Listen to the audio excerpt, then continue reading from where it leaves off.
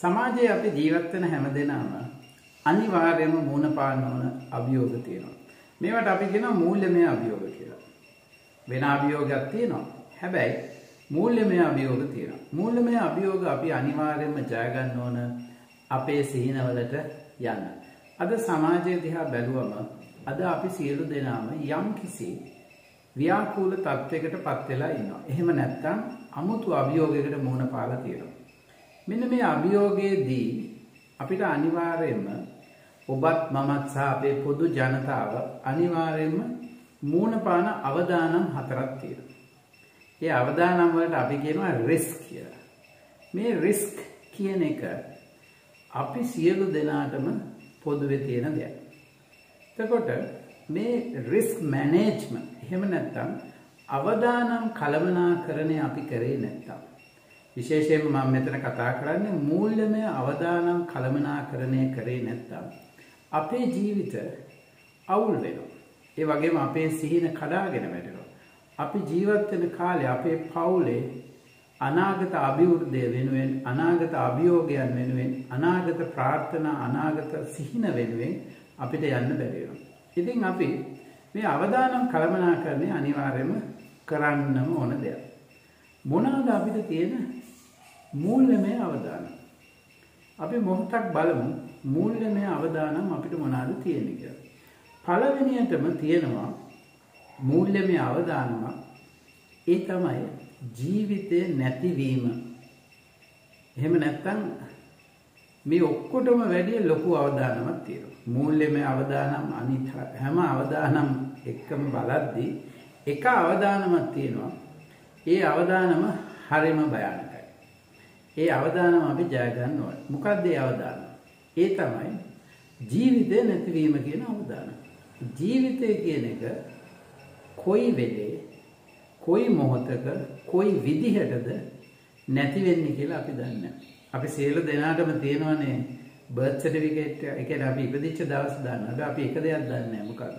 කවුරුත් දන්නේ අපේ date of birth දැනගෙන හිටියට death certificate එකේ එන date එක අපි දන්නේ එහෙනම් death call එක කොයි වෙලේ කාට කොතෙන්දී එයිද දන්නේ නැහැ.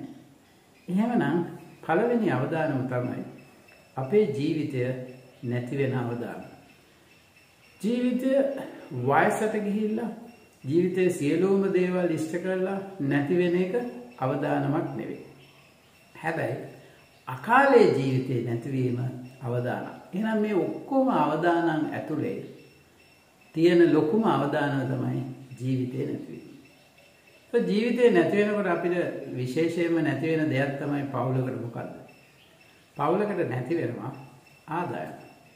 එහෙනම් ජීවිතයක් නැතිවීම තුලින් පවුලකට ඒ පවුලේ බ්‍රෙඩ් වින එහෙම නැත්නම් මූල්‍යමය ධනය ගේන කෙනාගේ මුදල් උපයන්නාගේ ජීවිතේ නැති වෙනවා. ඒක තමයි ලොකුම අවදානම. ඊළඟට තව අවදානමක් තියෙනවා. ඒක තමයි ඉන්කම් රිස්ක් එක. ඒ කියන්නේ මොකද්ද? ආදායම නැතිවීමේ අවදානම. එතකොට ජීවිතේ නැතිවීම කියන ලොකු අවදානමක් තියෙනවා. ජීවිතයක් නැති වුණාම මොකද්ද වෙන්නේ? ජීවිතයක් නැති වුණාම මේ පවුලට ආදරය නැති වෙනවා. සෙනෙහස නැති වෙනවා. රැකවරණය නැති වෙනවා. ආරක්ෂාව නැති වෙනවා. සහ ඒ පවුලේ වර්ධනය ඇන හිටිනවා. ඒක තමයි ජීවිතයක් නැතිවීමෙන් තියෙන ලොකුම. ජීවිතයක් අකාලේ නැතිවීමෙන් ලොකුම හානියක් වෙන්න පුළුවන් පවුලකට. ඊළඟ අවදානම තමයි ආදායම නැතිවීම. ආදායම නැතිවීමේ අවදානම. මොකද ආදායම නැතිවීමේ අවදානම? ජීවිතයක් නැතිවීමෙනුත් ආදායම අහුම වෙනවා. කෙනෙක් ඇක්සිඩන්ට් එකකින් එහෙම නැත්තම් ලෙඩකින් එක්තැන් වුණොත්. එහෙනම් ජීවිතේ නැතිවීම ලොකු අවදානමක් රිස්ක් එකක් ආදායම නැතිවීමත් ලොකු රිස්ක් එකක්.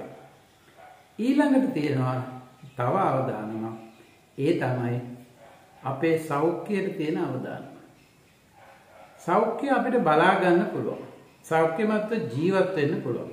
හැබැයි අපිට ලෙඩ ಜಾති දෙකක් තියෙනවානේ මොකක් නැත්තම් බැක්ටීරියල් ඉන්ෆෙක්ෂන් නිසා මේ වගේ එක එක හේතු නිසා අපි ලෙඩ වෙන්න පුළුවන්.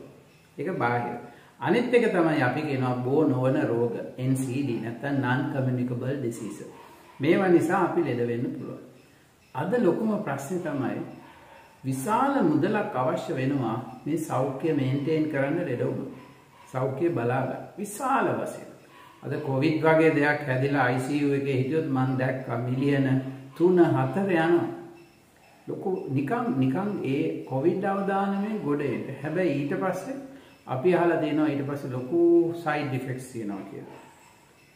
එතකොට එහෙමනම් ලෙඩවීම ලොකු අවදානමක්. ලෙඩවීමේ ලොකුම අවදානම තමයි ඒ ලෙඩවීම ආවරණයක් නැතිව ලෙඩ වුණොත්. මූල්‍යමය සැලැස්මක් නැතුව ලෙඩ වුණොත් ඒක විශාල අවදානමක්. හතරවෙනි අවදානම තමයි අපි ජීවිත කාලෙම ටිකින් ටික ටිකෙන් ටික ටිකෙන් ටික අපේ වත්කම් ගොඩනගනවා. අපේ වෙල්ත් එක ගොඩනගනවා. ඇයි ඒ? අපි ආසයි පෝසත් වෙන්න, අපි ආසයි සතුටෙන් ඉන්න, අපි ආසයි සැප විඳින්න. අපි මේ වෙල්ත් එක ගොඩනගනවා. හැබැයි අපිට අකාලේ කරදර සිද්ධ වුණොත් අකල් මරණයක් සිද්ධ වුණොත් අපි හදිස්සියේ ලෙඩ වුණොත් අපි හදිස්සියේ එක්තැන් වුණොත් අපේ තැන්පත් ධනයට මොකද වෙන්නේ? මේ තැන්පත් ධනය විනාශ වෙනවා. තැන්පත් ධනය අපිට අදින්න වෙනවා. දරුවන්ගේ අධ්‍යාපනය වෙනුවෙන් අයින් කරලා තිබ්බ මුදල අපිට ගන්න වෙනවා. දරුවන්ගේ අධ්‍යාපනය වෙනුවෙන් අයින් කරලා තිබ්බ මුදල අපිට ගන්න වෙනවා. එතකොට අපේ වත්කම් වලට අවදානමක් තියෙනවා. එතකොට ජීවිතය නැතිවීමේ අවදානම තියෙනවා ආදායම නැතිවීමේ අවදානම තියෙනවා. සෞඛ්‍ය හීන වෙච්ච වෙලාවක ඒ වෙනුවෙන් ප්‍රතිකාර ගැනීමට නැති වෙන අවස්ථාව තියෙනවා අවදානම තියෙනවා. ඊළඟට අපේ වත්කම් නැතිවීමේ අවදානම තියෙනවා.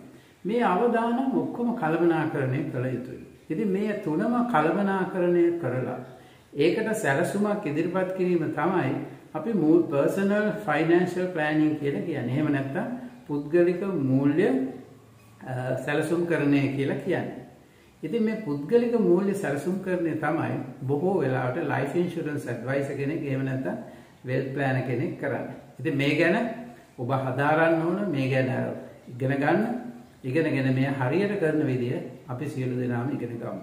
ඉතින් මම ඔයගලන්ට ආරාධනා කරනවා වැඩි විස්තර මේකේ තව තව විස්තරාත්මකව මේ දේ ඉගෙන ගන්න නම් මගේ MDRT ජිම් ලයිබ්‍රරියට එන්න ඒ ලයිබ්‍රරිය මම මේක ගැන වැඩි විස්තර ඕගොල්ලන්ට සපයනවා. Good luck.